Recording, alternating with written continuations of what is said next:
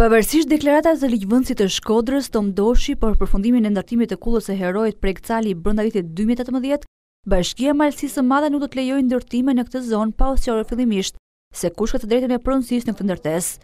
Deklarata ka ardhur nga kryetari i bashkisë së Malësisë së Madhe Tonin Marinaj, gjatë një deklarate për shtyp.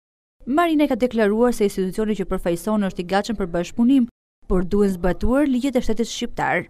Unë nuk e kam thanë nanjëherë, por sot jam i detyrum ta them që në kohën e komunizmit për fat të keq u ba postë kufiri, kështu që duhet të ndryshojë pronësia, ku normalisht ajo bahet me një VKM, ku mund t'i kalojë bashkisë, mund t'i kalojë nipit tij, që është djali i vajzës Prek Calit, mund t'i kalojë Ministrisë së Kulturës dhe bashkia është e gatshme të japim zgjidhje, lejen, në bazë të rregullave që kemi. Në këto kushte të ketë leje nga bashkia? Në këto kushte është e pamujtun të ketë leje nga bashkia.